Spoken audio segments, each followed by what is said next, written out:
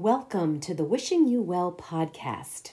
I'm your host, Maria Patrick, and this is your weekly dose of health and wellness ideas and inspiration so that I can help you to live your best, longest, healthiest, and most wonderful life. I'm a health and wellness coach and a Qigong instructor. I am deeply committed to helping people get healthier and stronger. I scour the headlines and latest books every week in search of things to inspire us on our health journey.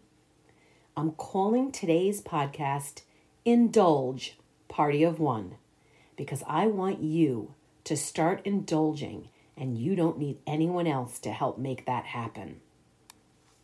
I'm inspired by the beautiful actress, author, and Emmy Award winning Food TV network host Valerie Bertinelli. I have been a fan of Valerie since she starred on the show One Day at a Time, which I loved watching as a kid. I have followed her career through the years and I have found her books very enlightening, particularly the one she released a few years ago called Enough Already Learning to Love the Way I Am Today, and her latest, which is a cookbook called Indulge Delicious and Decadent Dishes to Enjoy and Share. If you have ever been frustrated and felt bad about yourself while you were on a weight loss journey, imagine how challenging it would be to go through that with the whole world watching, trolling, and criticizing. Well, that's Valerie's story. And thankfully, she has come out the other side of it stronger and healthier, both physically and emotionally. The theme of her new book is that food is meant to be enjoyed, and that there is simply no way to enjoy a meal, or your life for that matter, if you are consumed with regret and denial. Valerie has spent her entire life dealing with weight issues, and when it came to food, she was plagued with denial, deprivation, guilt, regret, and shame. She admits up front in the first few paragraphs of the book that the word indulge is not typically one that you would associate with health and well being, and that the words treat and cheat day and guilty pleasure had been banned from her vocabulary forever. Valerie is embarking on a mission to change the way we think, not only about food, but about ourselves as well, so that we can do like she has done and begin to build a healthy relationship with food. I was raised in an Italian family where everything we did revolved around our meals. Many of my childhood memories are connected to the meals we ate, the sights and smells in the kitchen, the recipes which were handed down from generation to generation, and the understanding that every holiday would be celebrated with no fewer than four courses. My sisters and I often heard the words eat, eat, manja, manja, but regrettably and unfortunately, they were often followed by one of the adults in the room telling us not to eat so much. As a kid, it was hard to understand which command prevailed the one telling us to keep eating or the one telling us not to do so.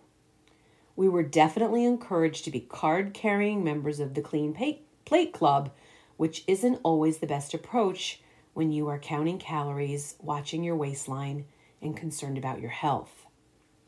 Like Valerie, I love food, but I've often been plagued with guilt, regret, and unfortunately and sadly, sometimes even some self loathing. So for me, Valerie's book Indulge is an express invitation to start enjoying my life and my food more, and I am here today to share that same message with you all. There's a large movement that has been trending recently. You may have heard of it. It's the anti diet movement. Just put in hashtag anti diet, and so many things will come up.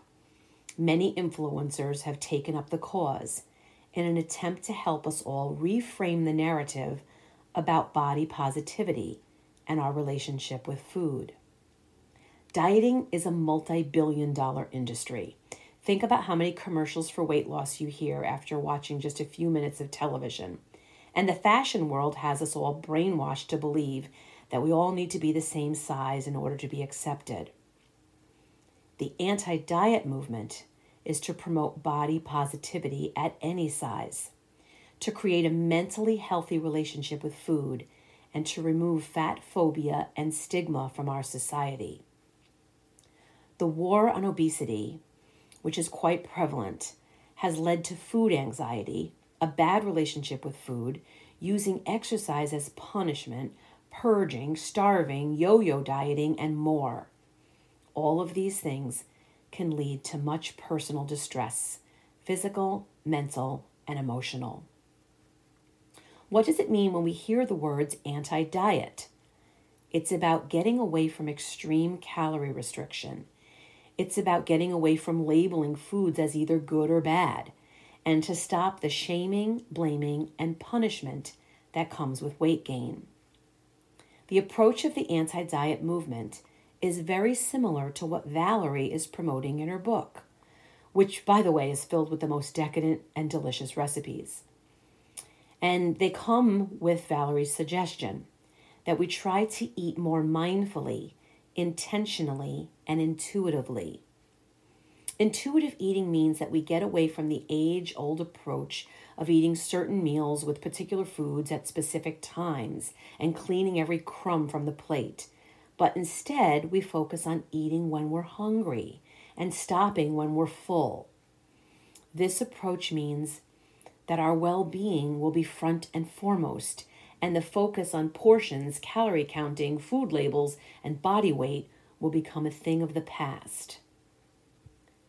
What I really enjoyed about getting my health coaching certification is that we learned about using foods as medicine and incorporating foods with particular nutrients and vitamins in order to restore the health of our clients and to help them to maintain it. The teaching was never focused on having our health coaching clients counting calories or living a life of deprivation. Instead, we were strongly encouraged to help our clients to use what they called the crowding out approach. This meant that our clients could continue to enjoy their indulgences, whether it was their daily coffee drink, their favorite afternoon snack, or their after dinner dessert, but that we would help them to fill their plates with more nutrition at every meal, which would in effect crowd out the foods that had less nutritional value. It was an aha moment for me when I realized that balance truly could happen right alongside indulgences and the love of eating food. I'm proud to say that I have successfully worked with many clients on improving their self acceptance and helping them to discern the difference between thirst and hunger, helping them to realize what their regular cravings may be telling them, and how to build an eating plan that will nourish the body while at the same time validating the experience with food. We are plagued by so many negative messages when it comes to dieting, including preoccupation with food and weight and sizes and body image. And then that results in feelings of guilt, shame, loss of control around food. Like Valerie, I've had enough of this, and I agree with her. It's time to say goodbye to using exercise, food restriction, fasting or purging as punishment, and instead adopt the intuitive eating approach patterns, which will lead to better physical, mental, and emotional health. I think it's important for us to remember that even if our current health conditions require us to make certain dietary changes, for instance, if you've been diagnosed with kidney disease or heart disease or diabetes, you can still maintain a positive and non restrictive mindset around food. It's also time that we start exercising for fun, finding something that you truly enjoy doing that gets you up and moving, and eating what you want when you want in order for us to build a positive relationship with both food and exercise. The result will be a complete shift in mindset, which will help you to do a lot of things. First, improve your workout retention, your body image, and lastly, your relationship with food. So, one way to embrace this mindset shift to indulgence is to get a copy of Valerie's cookbook. And start to incorporate things into your diet, like her classic eggs Benedict, her ham and brie sandwiches, her burrata with grilled peaches, her crispy goat cheese salad, her chicken with tomato and prosecco sauce, her creamy no cream artichoke pasta, her coconut poached salmon and rice, her pineapple upside down cake, and her homemade peanut butter. But what else can you do to embrace the anti diet movement?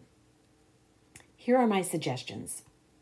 First, eat when you're hungry and take note of how you're feeling so that you make sure that you're not eating for emotional reasons.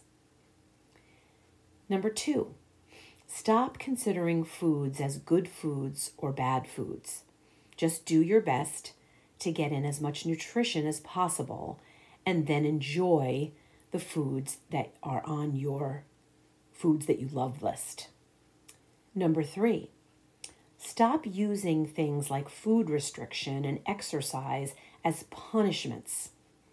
Instead, eat and exercise for fun. Number four, try different forms of exercise so that you can find what you enjoy the best. Maybe you enjoy swimming, biking, dancing. Of course, I suggest Qigong. In fact, you can check the description box in the podcast for a special gift from me to join one of my online Qigong classes for free. I'd love to have you and see how much you can enjoy this beautiful practice. Number five, we need to practice self love. The motivational speaker and author Mel Robbins says that we should start every day by looking in the mirror, telling ourselves how beautiful we are, and giving ourselves a high five in the mirror. Number six, learn about what your body needs. Don't participate in a diet which is merely for restricting your calories. Instead, build a plan of eating that accommodates your health condition and includes lots of nutrition to be used as medicine, but also a focus on the foods that you enjoy. Number seven, be conscious about all the negative media blasts that are out there. We hear so many messages that instead of reinforcing a positive body image, they make us feel bad about ourselves. Try to put a stop to this, whatever form you're getting them in, whether it's social media, the magazines you read, the television shows you watch, the people that you can communicate with. Be conscious about the media you consume. Number eight, be aware of the way that you speak to yourself. Sometimes the things that we say to ourselves, about ourselves, is so harsh, we would never dream of speaking to someone else that way about their weight and their body image trying to establish a positive body image and a healthy relationship with food can be quite challenging. It's certainly not easy to suddenly change the way you think about yourself, your perspective, your behaviors, your thoughts. It's time for us to be kind to ourselves and have the patience and the acknowledgement, realizing that this process may take time we should ask ourselves the same questions that Valerie asked herself How can I nourish myself instead of just eating? How can I treat myself with care and compassion? How can I enjoy myself in the kitchen? Valerie says that these are all big leaps which require us to take baby steps, be gentle and forgiving with ourselves, be patient, and have the desire to grow and change. Valerie also says that in order to truly indulge, we have to stop waiting for joy to come to us. We need to get out of bed every morning with the intention to go out and find it and to indulge in what makes us happy so that we can truly enjoy this one great, beautiful life that we have been given. I am right there with you, my friends. Let's embrace the anti diet movement together Let's start feeling better about ourselves. Let's reach out and find the joy in every day and truly indulge in life and the gift of being alive. We can do this. we can and will reframe how we think about food and what we say to ourselves in the mirror. Please remember that you are not alone on this journey. I am here. I am accessible to you. And as always, I am wishing you well.